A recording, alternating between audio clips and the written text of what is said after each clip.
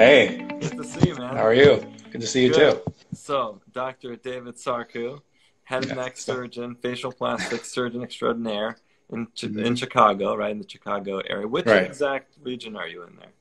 Uh, I'm in the western suburbs in Aurora. Okay, okay, cool. So, yeah, so for those who may not know, Dave and I trained together in the greatest did. hospital on the planet in the Philadelphia. good old days. And Yeah. uh, we're definitely happy to be uh, in our hometowns, I think, right? Yeah. No, it's good to be The back. Temple Dream Team, that's right.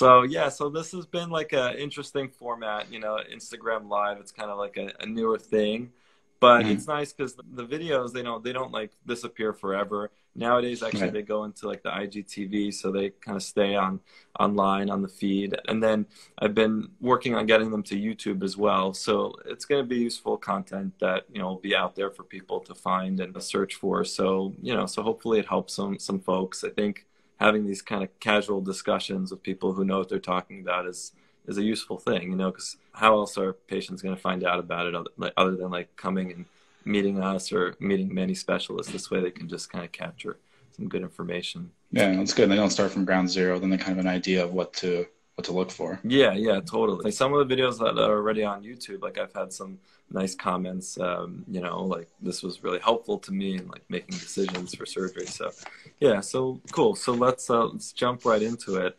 So let's just t- start with like what you know makes for like a good looking ear, like in terms of proportions you know, some people, you know, they may think that they have an issue, but then in reality they don't, or vice versa.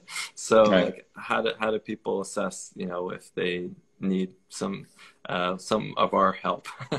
But, you know, that's a good question in the sense that, you know, I think it does individualize or is individual to every person. So there's certainly textbook things we look at. So, you know, the average male ear is about six centimeters in height and about three and a half centimeters in width. And, you know, females a little bit smaller, about 5.9 centimeters in height. And, you know, if you look at textbook, you know, you look at how far the ear protrudes out from the scalp. So ideally it's about a 20 to, to 30 degree angle. Um, you know, you look at, um, you know, the what we call the mastoid angle, the angle it makes with the mastoid to about 90 degrees. But, you know, that being said, if you go from person to person, everyone has kind of their own taste. So, you know, there's also a cultural aspect to it. So in some Asian cultures, for example, having ears that are prominent that kind of stick out is actually considered to bring good luck. And so actually otoplasty or changing the appearance of the ear um, is actually not done as much in, in some Asian cultures because actually they they want their ears to to be more prominent, whereas in Western civilization it's kind of not as as socially acceptable, and there's kind of a stigma associated with it. And so so to some extent there's there's certainly a, a personal aspect to it as far as what people kind of like or don't like. So we certainly have these kind of textbook numbers we'll look at, but you know part of it is if it bothers someone. You know I have a lot of this actually is done in kids because a lot of parents will come in, you know, with concerns, especially before kids get to, you know, to go to school. And so it really comes down to personal concern regarding the appearance, as well as, you know, when you then evaluate them, if there is something you feel that you can potentially help them to to improve that with. Yeah, no, that, that all excellent points. Um, what are your thoughts on when patients come in and they say, "Well, one ear sticks out more than the other," and you know they want them to be perfectly symmetric? Now, do you think that that's uh, something that that they should want to have done, or do you think it's possible, or do you just tell them they're always going to be a little different? Uh, Yeah, perfect symmetry is probably the, the hardest thing to achieve. And actually, there was a good study looking at some rhinoplasty patients and facial aesthetic patients, and they found that about 97% of people have little facial asymmetries if you really look analytically. So it's actually the very little minority of people that that have, and you know, one for example, one celebrity that has Shania Twain. If you actually take her face and split it down the middle and superimpose them, she actually is perfectly symmetric. But there's there's a lot of people that we consider to be quote unquote attractive who who are not symmetric and actually that's that's really the human condition is is the imperfection. And so you know i always tell my patients you know if your goal really is to get you know i have to be this way or i'm not going to be happy or has to have perfect symmetry then you know probably going through an operation is not the right thing to do for any operation let alone you know ears which which are tough because there's a lot what you see on the table and what you see even post-operatively is really not going to be your final result. Uh, much like rhinoplasty, it takes really a full year to kind of settle in, and there's little changes that will happen. And so, you know, there's you try to plan for those things certainly, but you know, if someone is is really you know needs to have it a certain way, then you know they probably would not be happy at the end of the day, and it may not be worth going through an operation like that or, or procedure, you know, for that. Right. No, good point. Yeah, I find that it's not only like how much the ear sticks out, but also the the tilt of the ear can be different right. from one side to the other, and that's not something easily correctable with surgery, right? Right. And it kind of gets away. You know, the one thing, especially with a lot of the procedures that that I do, we try to do, you know, at least for me, I really want it to be a natural look. So unless you tell people that you're going to have the procedure done, I don't want people to know necessarily that they've had a procedure done. And so when you try to correct those, like the angle of the ear, or, you know, trying to get things perfectly symmetric, that's when things start to look kind of odd, like something's off. And that's when people start to notice that, you know, something's not right. Maybe you've had something done. Right. And so it just doesn't look natural. Yeah, yeah, yeah. That's right. Uh, so let's chat about earlobes. So one of the biggest complaints I think that we see with ears uh, is that like people, I guess, wear their earrings and then it rips through and they have kind of an opening there or a complete tear and they come in wanting it fixed. So what are your thoughts on, I guess, most common things that cause it to rip open?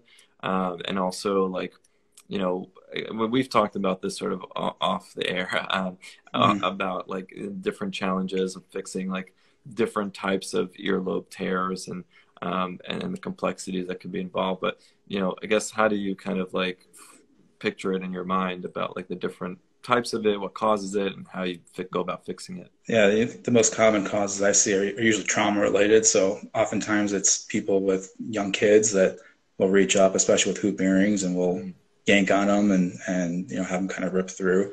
Yeah. Um, you know, as I think people that tend to wear heavier earrings, um, just over time, just just because of gravity, unfortunately, gravity kind of pulls down and weighs down, and will over time tend to elongate the, the earlobe, and sometimes will tear through. And so, you know, those are probably the most common reasons that that I'll see people come in, or at least the most common inciting factors.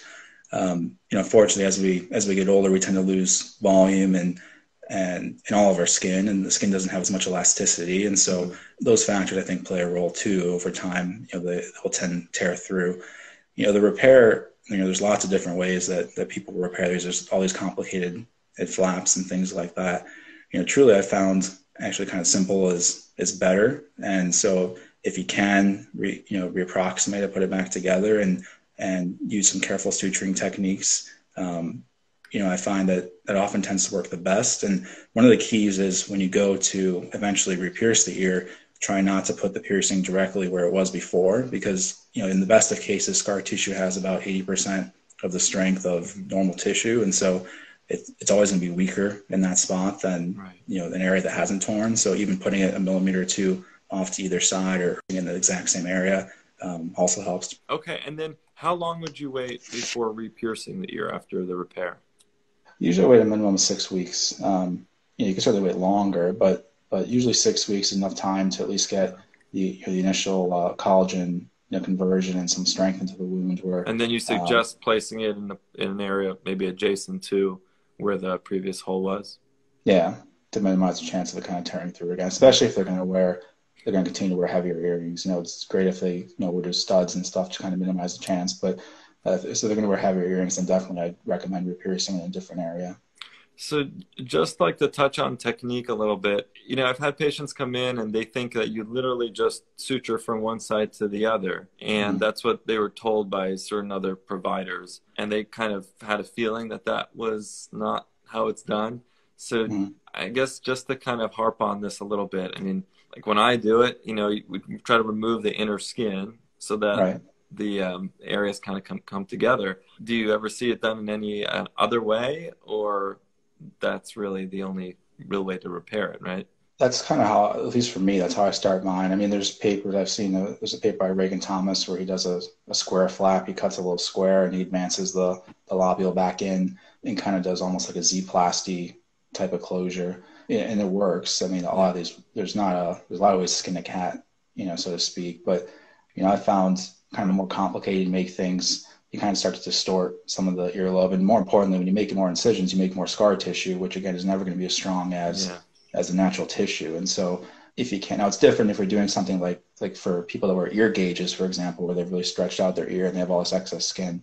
You know, that's a little different situation. But for traumatic tears or people that have had earrings kind of come through, you know, freshening the skin. And then what I found to be actually the most important is really getting. You know, I know it's a kind of a basic surgical principle, but having no tension on the wound. So for me, I'll do a lot of what's called vertical mattress sutures, which are special sutures basically just to take kind of all tension off. The, I'll do a bunch of interrupted vertical mattress. And then I also do a really small a running stitch down. And I found that actually the scar to be pretty much imperceptible, you know, once yeah. it kind of fully heals up.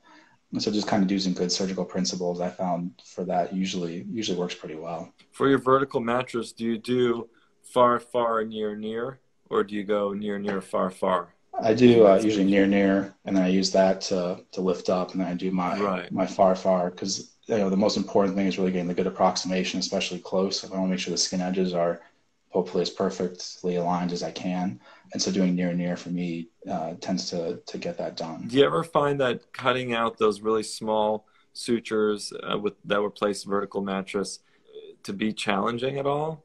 Like yeah, leaving any any suturing because I I've definitely had that issue. Um, yeah. I've had patients get upset, like, "Oh, you left something, you know, inside," because they'll see something later on pop out. I'm like, "Oh, I didn't want to leave that." But with a 6.0 Prolene, so I've actually considered changing to a far, far, near, near, just to see if that, you know, makes it a little easier to remove. I, I don't, you know, we'll see. the best thing I found, so I used to have, at least for the people I do vertical mattress sutures on, I've found, first of all, if I'm the one that takes them out because I found if I you know, usually our nurses or our MAs will do it and they usually do a good job, but but you know those sutures tend to be harder. And so one of the things I found, I try to teach people this, but it's kind of hard to to do unless you've done a lot of them. Is is if you take the iris scissors and you when you go through, as long as you have, you should have a couple millimeters between your your near near and your far far suture, mm-hmm. so you can kind of feel it catch when you get to your your first knot, you know, underneath the knot. Mm-hmm. And so if you just cut that first one, then usually you can pull it and it will come out right. in in one piece. And so you can even with the six zero, um, I've been able to usually get that, especially because initially, you know, when you inject all the local and things like that, it's a little more swollen. So inevitably, it's not as much tension when you're when you're taking them out as actually right. initially when you place them. And so, you know, occasionally you'll still get a strand here or there that you might have to go back some time and take out. It's just that usually, some patients get so upset. They just think like you just failed them if any suture is left behind. But obviously, as we know, it's not a big deal, and you can always get it out. You know, in the future, right. it's not going to hurt them. All right, excellent. And then, what about earlobe reduction? Who qualifies for that? and where are the incisions placed for for that type of procedure so usually uh, you know for that it tends to be older patients just because those tend to be the patients that have kind of lost some skin elasticity lost some volume and so of course as that happens, you tend to get some elongation of, of the earlobe itself. And so, really, anyone that, uh, you know, one of the things I look for is hopefully not a keloid former, especially with the ear. You know, people that are more prone to keloids, the ears tend to be, unfortunately, one of the higher sites of keloid formation. So, although it's not an absolute contraindication, it's certainly something to talk about because there's there's certainly a chance with any type of incision that they could form a keloid and they may be more unhappy with the keloid than what they had to begin with you know, non-surgically, sometimes depending on the how much elongation they have, filler is a good option, a good non-surgical option that I've done because they restore some of the volume. And actually, when you restore some of the volume, you actually get a little bit of lift in the mm-hmm. earlobe. I mean, it's not it's which not filler which, which, filler do you recommend in that location? Uh, usually, I do uh, Juvederm, okay. you know, typical Juvederm.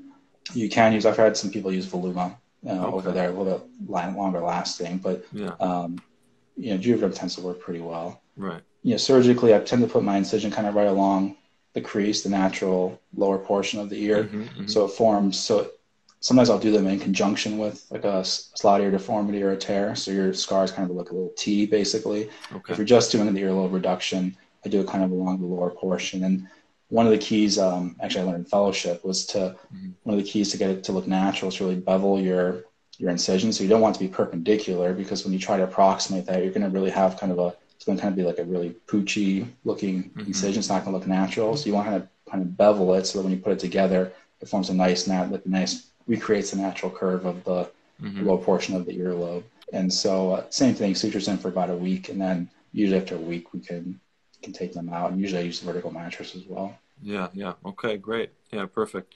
And then one of the more common types of ear aesthetic surgeries is uh, ear pinning or otoplasty, and there are many ways of doing it. Um, I guess first, like again, who's a good candidate, and maybe if you can lay out all the different repair uh, sort of options and um, just generally how you do it under is it under local anesthesia or general? And does it depend on age for that? Or you know just go ahead and tell sure. us how you do it. Um, yeah the things that i look for so one of the things is is determining if it's a we call it deformity versus like a malformation. So deformity is is when you have all the natural cartilage but it's not shaped maybe the way that you'd like it to be or, or there's what we call deformation of the cartilage a malformation is when there's actually either skin or cartilage or sometimes both miss, missing. And so the conditions like microtia, for example, would be something that would be associated with that. Because there's different treatments and it really determines, a little bit of overlap to some degree, but generally speaking, you know, deformation are treated differently than the malformation. So for deformation, so it really, some of it depends on when the patient comes in. So if they come in, I I've seen patients literally newborns or, you know, a week or two out, you know, will come in with some ear deformations and you know, we have a option called ear molding where you can actually put a mold and actually mold the cartilage the way you like it to be. And because the maternal estrogen levels are, are high enough, um, usually in the first six weeks of life, um, we think that that estrogen level actually allows the cartilage to be malleable and to actually, you can mold it and actually have it stay that way. And the success rate actually is pretty high. Um, it's about 90% as far as not needing or wanting any further procedures down the line. And so you can't correct everything. So you can't do microtia, for example. So as long as you actually have cartilage there, you can kind of shape it how you'd like it to shape it. But if it's not, then then that kind of patient would not be a good candidate for ear molding. Now, if they come later, like around, you know, typically the cutoff I use is about three months. So if they present later than three months, then ear mm-hmm. molding is usually not a good option because it's not going to usually not going to work.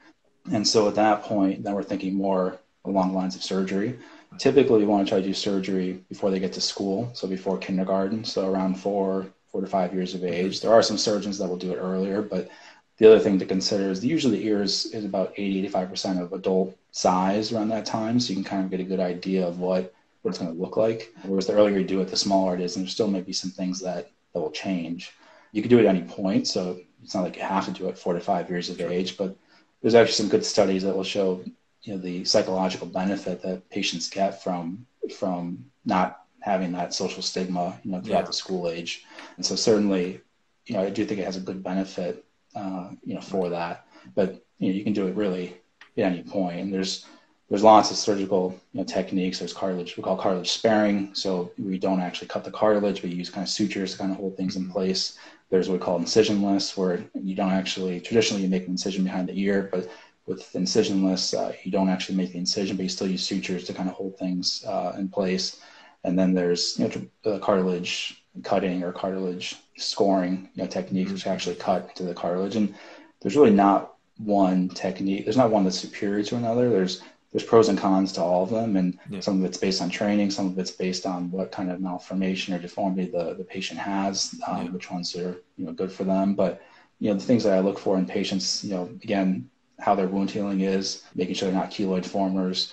Yeah, I think a good thing is also realistic expectations. So kind of like we talked about earlier, making sure they understand that really the goal is improvement. You know, we want to try to get hopefully they'll be perfect and maybe they'll be symmetric, but you know, because there's a lot of factors that are unfortunately out of our control, you know, how scar tissue heals and you know, some of just lifestyle. If they're if they're a boxer, for example, then you know, their ears are going to be different than, you know, someone that's maybe not going to go on, you know, do boxing. Sure, so sure so you know all those things kind of come into play and that's that's really why that first visit with them to kind of explain those types of things was, was really important yeah no thanks for kind of giving us awesome overview there um, so what about the folks who say i want the ear completely as flat to the head as possible is that a good look is that something that you kind of will do if that's what they really want or is it okay to have some degree of like tilt off of your head you want to have a natural look. You really want some degree. So you actually can take measurements. So at the we call the superior helix, or the top part of the ear, you want about 13 millimeters or so. At the center portion around the external auditory canal, you want about 16 millimeters, and then the lobule, or sorry, 18 in the at the external canal, and about 16 millimeters then at the lobule. So that's kind of a good rule of thumb. You know, if you have it kind of stuck to the to the head, you know, really doesn't look natural. Um, and it really will attract kind of people's attention. I actually had one patient who's he had prominent ears, and his worry was his whole family had that, and he did want them in some, but he didn't want it. He actually really didn't want them stuck, and so we kind of, you know, I showed him kind of what I thought it would look like, kind of a, as a good natural position. And actually, for him, he thought it was too much, and he actually wanted it less. So I actually undercorrected him a little bit, just based again, kind of on his preference, and that's why, you know, again, it really is important to determine what the patient, you know, wants, because the quote unquote, you know, norms or the textbook numbers are just kind of guidelines. It really just comes out to you know sense of taste. Yeah, yeah, and I tell some patients also that if you completely remove, you know, a lot of this cartilage, yeah, you'll get like a really floppy ear that you can do anything with, and it's not going to re- protrude. But you mm-hmm. want to maintain some degree of naturalness to the actual, you know, respect the, the curvature, the natural curvature, and you know, landmarks of the ear.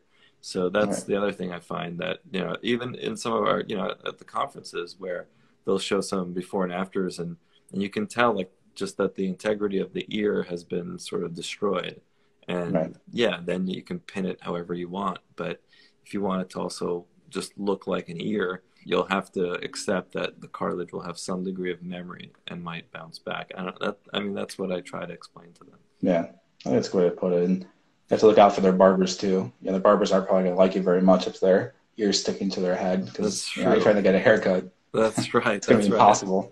Yeah, that's a good point. uh, and then in terms of uh, common complications that you see, you know, what what types of things do people need to watch out for? Yeah, probably the most serious one. Fortunately, it's not very common, but usually it's not a very painful procedure. And so, pain in the first few days, extreme pain in the first few days, is a sign that something's not right.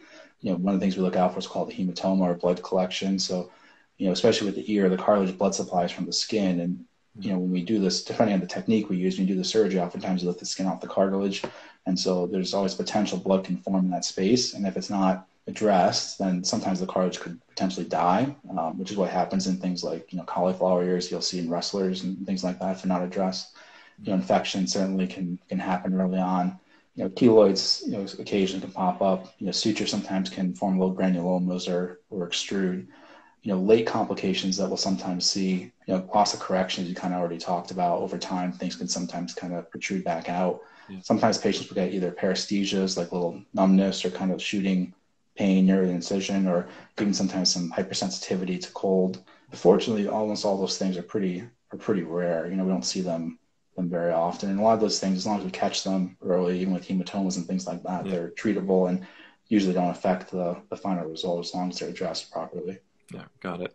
Yeah, I mean, I've been doing you know, more of these in my practice, and textbook you know, teachings are that if you have the pain, you have to bring them right back and look at it. Right. And I've had that a couple of times now where you know patient's been complaining of pain. It seems like it's asymmetric, so I bring them in and it's fine.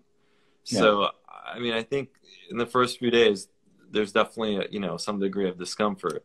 So you know, I, yeah, I don't know like the, the textbook what they what they tell us to like be on the lookout for um, I've just found that a lot of patients have some pain, and it's not always the same from side to side. So.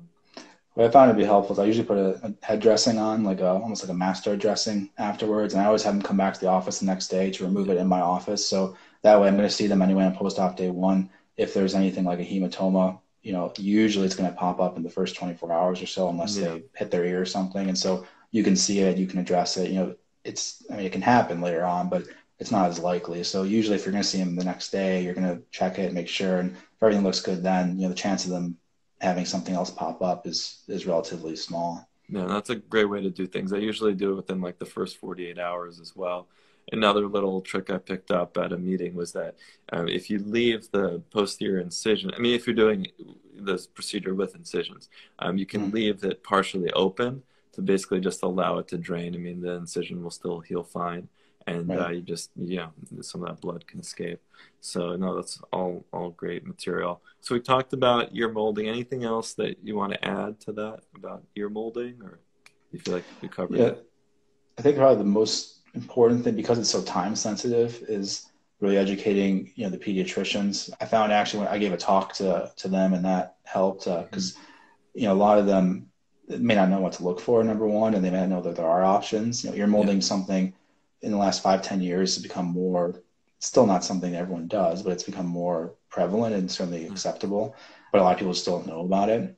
And so, you know, I've had patients that will go to, I'm actually on one of the, the websites for one of the ear molding companies and they'll find me through that. They'll look for ear molding, you know, aside from the referral. So I think the biggest thing is catching it because if you know, the patient comes in your past three months, you know, unfortunately there's, there's just not much you can do. So a lot of it really is, is, you know, finding, catching them early and, as long as it's something that can be addressed, which actually a lot of the ear deformities mm-hmm. can be through ear molding, you can often potentially avoid anything surgical. And the other thing with ear molding, it actually is often covered by insurance, which for almost all the stuff we're talking yeah, about is usually huge. usually not, but but insurance companies usually cover the ear molding, which is kind of unique. So um, again, it's something that we can we can do to kind of help people, and it's relatively minimally invasive.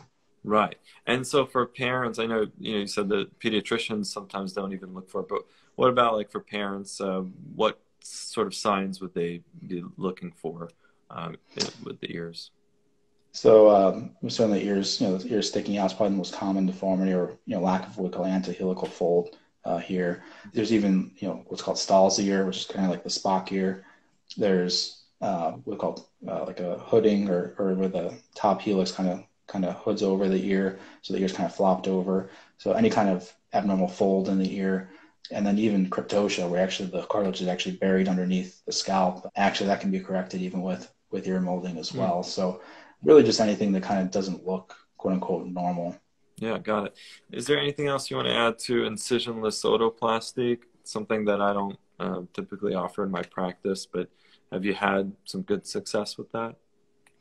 Yeah, for the patient that really wants minimal downtime, you know, the incisional otoplasty, it's a suture technique. So the main difference between the traditional otoplasty and that is that you don't make the incision behind the ear and you use the suture to actually make the changes that you're trying, same kind of suture that you would do normally, just without the incision. And then usually you do a little bit of cartilage scoring along with that as well. The nice thing with that, there's really minimal uh, hematoma risk because you're not mm-hmm. lifting the skin off of the of the cartilage and so the downtime really is, is pretty minimal. You know, the, I'd say the downside to it, you know, I think there's a little bit higher chance of loss of correction with that because you're not doing quite as much as far as you know removing skin and things like that. And but the trade-off is again, there's less downtime, usually less pain associated with it, and so it is again for the right patient, meaning the right malformation, because there's only certain things you can do with it. But for the right patient, uh, you know, certainly it's a good option for for them. Yeah, yeah good point. I don't want to get too deep into microtia since it's a huge topic. Are you doing yeah. any microtia repairs in your practice now? Uh, no, I don't do any, just because you know you really need kind of a children's hospital yeah. uh, setup. So, you know, unless you're at a kind of specialized center, you know, those are the time tend to be the place. But, but I don't personally do them. Yeah, and the other big thing is that with microtia, it's like you either do a huge operation that usually has multiple stages and requires right. rib cartilage and all that, or you just get a prosthesis that will look better than any reconstruction that we can do, right? I mean, that's right. Yeah, that's kind of the dilemma that I've always uh, found interesting. And I think if it was my kid, like I'd seriously consider opting for the prosthesis. Yeah, I mean the prosthetics nowadays. I mean they they look real. I mean, you can't tell. I mean, yeah. the main disadvantage is, I mean, you have to put them on, and so people can get kind of like adhesive reactions and things, you know, on the on the skin with some of these. But as far as cosmetic appearance, I mean, I, I mean, sure, there's many people that get good results with, with traditional microtia surgical repairs, but you know, the prosthesis really are are give you a nice result. You know, the one thing about the microtia is, or the surgical repairs, it kind of, you know, some people say kind of either grows with the kid or kind of adapts with with the kid because it I mean, it's natural tissue, and although it's not quote unquote really growing, but it is it is obviously alive, and so it does. You know, there's relatively little maintenance once once you're recovered from it. So obviously you're not taking it off and putting it on every day, and you don't have tissue reactions and things like that. But you know, the with the prosthesis today, I mean, especially if you don't want to go through between two to four operations, you know, I don't think you necessarily would go wrong you know, with a, a, good prosthesis. Yeah, yeah, I agree. And then for people who may not know what microtia is, we had a question like, what is microtia? Uh, what's mm. the best way, I think, to describe that, you know, just in layman's terms? So microtia is when you're actually missing either a combination of skin and or cartilage uh, from the ear. So you can have there's different grades of it. Um, so you can have all the way from relatively minimal cosmetic you know, change all the way to complete no ear, uh, called anotia, and oftentimes associated with inner ear deformities. So there's can be hearing loss or, or other um, balance issues kind of associated with it. So anytime you see microtia, usually you want to work them up for other potential inner ear malformations. But um, you know the repair, unfortunately, because you're missing material, you know basically kind of replace like with like. So you have to get it from somewhere else. So the surgical repair that's much more uh, involved usually than kind of what we were talking about before with the otoplasty type of things. Those things don't really apply to microtia kind of repair, but basically it's when you see people that are actually missing portions of the ear. Yeah, no, it's a great way to explain it. And then let's finish up with this uh, Spock ear or elf ear surgery that some people are looking for.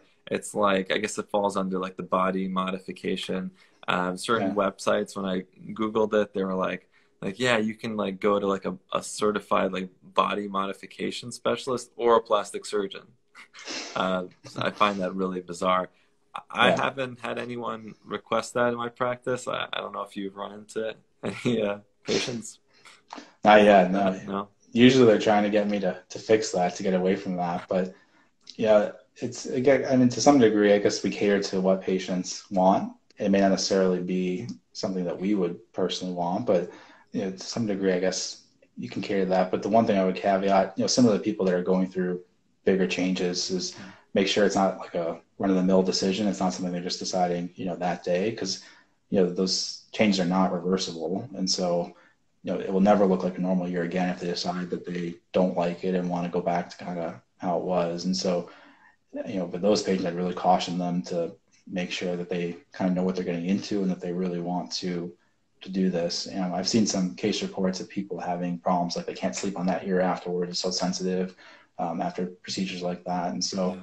and you're kind of doing the opposite. You know, a lot of what we do is to try and make people um, hopefully feel less self-conscious and kind of quote unquote more towards a social norm. And so with this, you're kind of going the opposite way. And so, I mean, if that's what the patient wants, you know, that's one thing, but you just want to make sure they kind of understand that their ear is not going to look like other people's ears. So it's going to attract attention as as opposed to kind of distract or not or not attract attention. So it's kind of a little bit different mindset, I guess. Yeah. You know, with that. No, you're right. I think with like the whole body mods movement, uh, those are some of the same people who get like you know piercings and other things. Uh, in a way, I guess it is like you said to attract attention um, rather than to kind of blend in. And one of the best lines I've ever heard about plastic surgery was that and plastic surgery shouldn't scream; it should whisper. You know, I think right. like you and I, you know, we basically uh, yeah, emulate that in our practices. But yeah, you're right. Like this is the exact opposite. It's it's like someone who puts in I don't know like like very large breast implants on all of their patients, and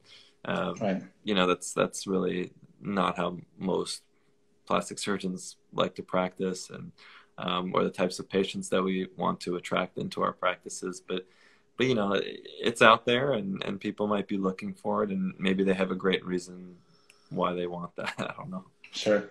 Yeah. maybe that'll become more of the norm. Yeah. You, you never, never know. know. yeah star trek is, uh, is a popular thing so. Uh, cool. So anything else that you want to add dave about uh, ear aesthetics? No i think we covered uh, you know a lot. I think i'd encourage you know anyone that's considering this. I mean it's a from a surgeon, it's definitely very rewarding. You know, uh, I think especially you know in kids, it it gives them a lot of, uh, and the parents too, it gives them a lot of confidence, and uh, it really takes kind of a big worry away. And so I, you know, I think it is really gratifying to do both, you know, as a surgeon and certainly seeing kind of the the effects for that, and you know, even for ear molding, same way. You know, even you know, great. I'm a surgeon. I, I love to do surgery, but if I can do something and prevent someone from having to kind of go through something you know, down the line. Certainly, I'm happy to to do that. But you know, certainly, if there's any question, I think finding someone that's certainly that's experienced in this and, and getting their opinion doesn't hurt to to go in and see what they say. And you know, I'm, I know you're the same way. I'm very honest with patients. If I think it's something you know that I can't do or that I don't think is gonna they're gonna be happy with, you know, I, I tell them I don't just operate anyone that that kind of walks through the door. And you know, I think a, a big portion of this obviously is patient selection and making sure you know, you're gonna you know make them happy. I mean, that's our goal is to really help our patients and improve their quality of life. You know, with with any of these things that we do. Exactly. Yeah. Well said.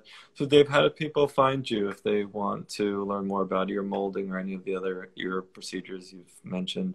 Uh, what's the best way to get in touch with you? Um, so I'm out of Advocate, so you can uh, uh, call our office 630-859-8700. Um, you know, we have our website as well. Um, you can schedule electronic appointments. Um, and uh, you know, now with the pandemic, hopefully improving, you know, we're starting to see patients again. So, um, you know, certainly I'm happy to answer any questions if anyone, you know, has anything else. Yeah, perfect. Well, thanks so much for joining me. And thank you. Thanks, thanks so much. Me. Bye. Bye.